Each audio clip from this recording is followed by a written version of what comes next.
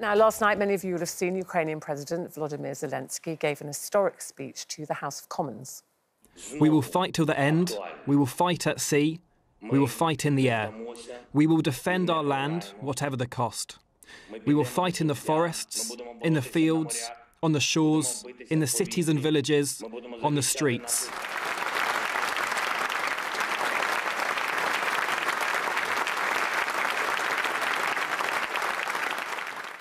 Well, amazing standing ovation there. Um, it's been 14 days since Russia invaded Ukraine, 14 days of devastation and destruction, but also 14 days of incredible resilience from the Ukrainian people. And one of those people, Marichka Padalko, joins us live in Ukraine today. She's a presenter on One Plus One, that's Ukraine's main TV network. She's also a wife and a mother to three children. Uh, Marichka, thank you so much for joining us. I know this is a very, very difficult time for you. Can you just explain uh, to our... Thank you very much for um, having me and thank you very much for this amazing support that we've seen from Great Britain over the past two weeks and before and for that stand innovation of the British Parliament that really means a lot to us. And, and it's so good to hear you say that because we all watch on the, horrors unfolding in your country and feel very, very helpless here. Um, can you explain to our viewers? Um, I know you can't give too much detail exactly where you are, but where you are and what you're doing, because we said you are a, a news presenter on one of the main channels there. But I understand the channels are joining forces now. You know, uh, I'm actually work at the backup studio and uh, we have to pick up and fill in every time that when we have alert in um, in Kiev. And actually, guys, I know we've been preparing for this interview for a long time and making arrangements, but what we're hearing now in the studio that the airstrikes just. Uh, uh, announced uh, in the studio that is having live broadcast now, which means I have three minutes only to get ready to fill in that's that's why I'm here. So I unfortunately I have to say goodbye and maybe join you on another occasion. Listen, I'm very sorry. Absolutely, no, we totally understand. Um, the, so you're saying the sirens have just gone off, and you're told there's an airstrike coming? Gone off in the place who are uh, broadcasting right now, a different place. So we're a backup studio. We have to fill in, you know, because yeah. they cannot broadcast any longer. No, That's no. why I'm saying goodbye. I please. never expected it may happen, but it happened. No, please, Marika, please go. Be safe. You and your colleagues. Oh, good. We've got her back. Marichka Padalko. We're so pleased to see you sitting there, Marichka. Thank you for coming back to us. Can you just explain to everyone what happened then? Yeah, as we work in a backup studio, so we fill in every time our colleagues who work in a different studios cannot do their job because of air alerts. So that was uh, uh, air alert this time, and uh, we had to be ready to go on live. But fortunately, uh, nothing happened, and I'm back to you. I'm so pleased to see you back. While you were gone, Marichka, I was explaining to our viewers about you and your family, um, that you're, you're married, you have three children. Your children are currently with your parents in uh, the west of Ukraine. You haven't seen them or your husband since the 24th of February. You must be incredibly worried about all of them and them about you. How are you coping? Uh, I am. You know, um, your one of your colleagues asked me this morning, uh, how, uh, how how are you? And I didn't know actually what's the correct answer, because in terms that I am alive, my children are alive, my parents are alive, and my husband gave me a call in, this morning. I think I'm great comparing to people who are under heavy shelling, like my friend near Kiev. But I mean, it's a new reality that we're getting used to. So of course we're not okay in terms of. Uh, this disastrous war that is going on, but we are trying just to pull ourselves together. And uh, I would agree with every word that I heard. You just quoted uh, our president from his speech to the British Parliament that it's our land and we're going to protect it. I mean, it, it was ex- yeah, it was extraordinary listening to him um, mm-hmm. yesterday. He said, "We'll fight them in the air, the forests." The fields and the streets. And the headline here in our Daily Mirror newspaper today, we will never surrender.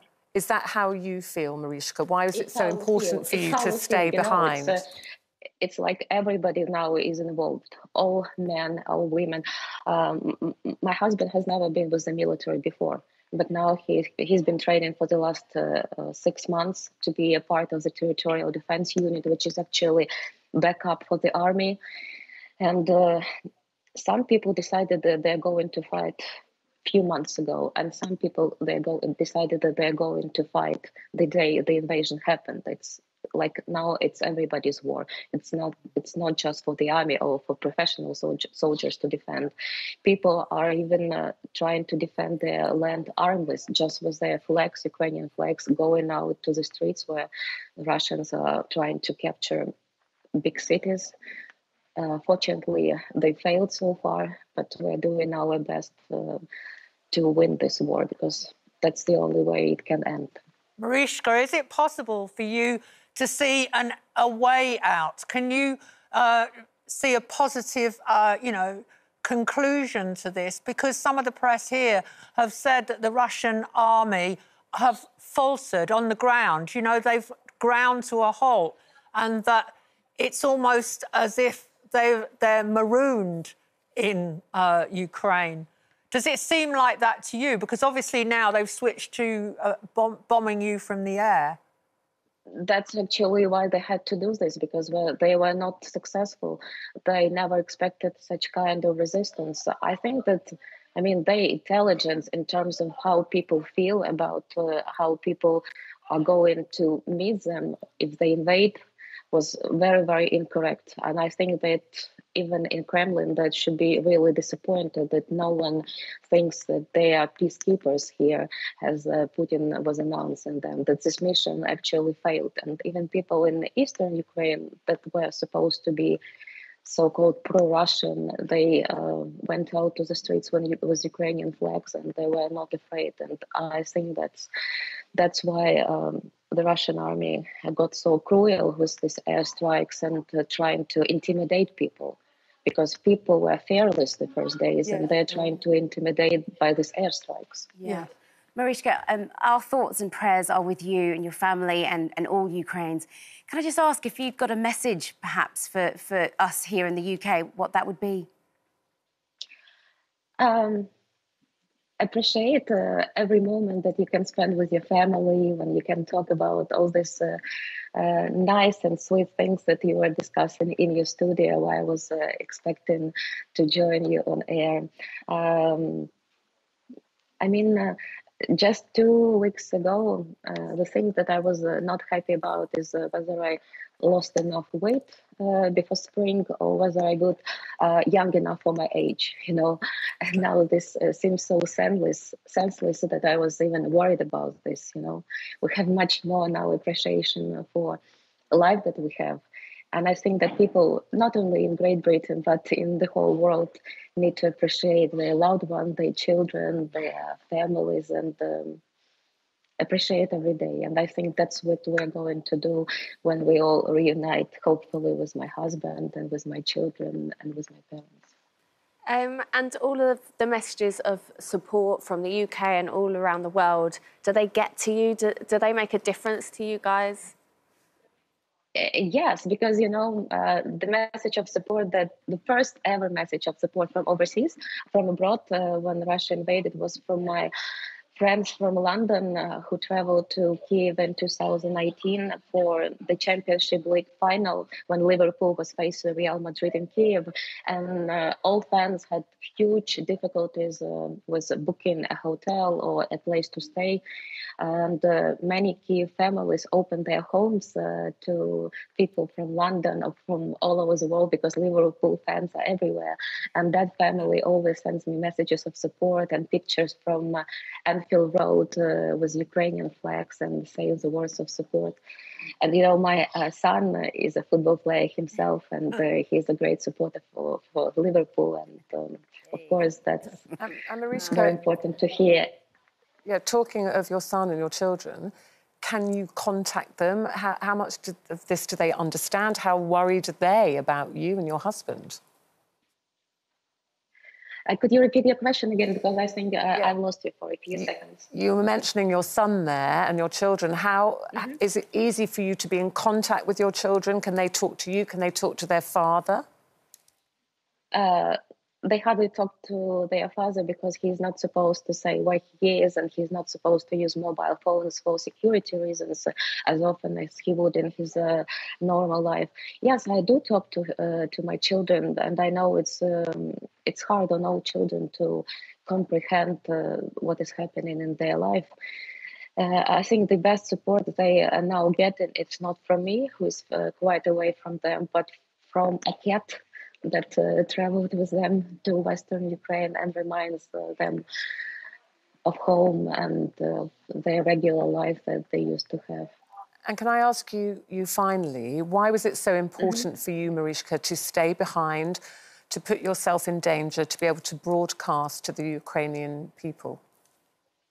Because I believed it's my mission, because I've been a presenter for 20 years. And um, I think the day of invasion was the most important day in my life. It was the most important mission to go with my colleague and to be first people to announce that that happened. And hopefully, um, our next mission will be to announce that Ukraine has won this war and that it's over.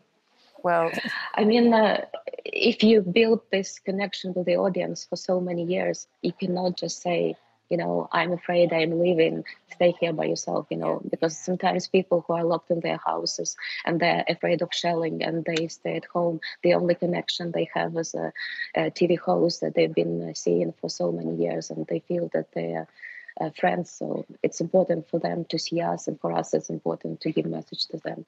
Well, I'm, I'm sure they appreciate that very much. Um, we hope you get that moment to be able to broadcast that it's over. And we'll share it with you and with the world. We and hope thank so. You for um, support. Yeah, because we... we... get all these messages singing and playing Ukrainian and songs at Trafalgar Square. And I know, actual guys, I don't know, well, you know that uh, today the London TV tower has the Ukrainian flags. I mean, the Ukrainian colors on it. Uh, I saw we, the picture. We so actually, I'm, I'm, yeah, I'm not sure if you can see our studio, but we have your Ukrainian oh, colours yes, here today. Yeah, yeah. It's a very thank small very thing, Marichka. It's a very small thing, but we just want you to know that we're, we're all thinking of you. We would love to stay you in know, touch with you. I know you're, you're very busy and you've got to get back to your broadcasting. Yeah. Please stay as safe as you can. And thank you so much for taking the time thank to talk you. to us and, and your colleagues. We thank wish you. you all well. Thank you. Stay safe. Thank you well, puts everything into a lot of yeah. perspective, doesn't it? It yeah. really does. Brave, brave woman, and all her colleagues there, of, yeah. of course, being away from her children. And that's interesting, isn't it? She's saying when you're when you have that connection with an audience, it seems wrong just to go. See you, folks. I'm out of here. She's that she feels important to stay and keep everybody informed.